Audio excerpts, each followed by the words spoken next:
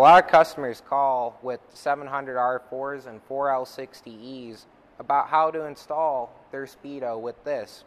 This is a typical installation of a speed sensor in a GM transmission. This is our regular sending unit for the application. What originally happens is there's a cable here that goes up to your original gauge. You will completely remove that cable until you have something that looks like this.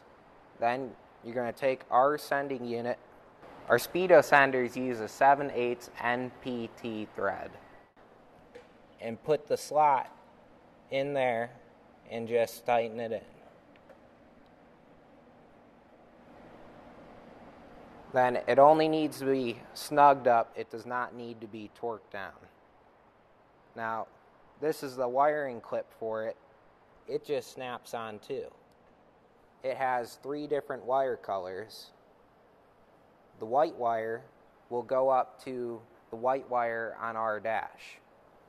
The black wire is a ground. It just needs to be grounded to a nice, good, clean ground. The red wire is hooked to a switch 12 volt source. Now, our speedos can be calibrated to any size gear ratio, tires, rear end. It does not matter. Our speedos can be calibrated to whatever this is putting out.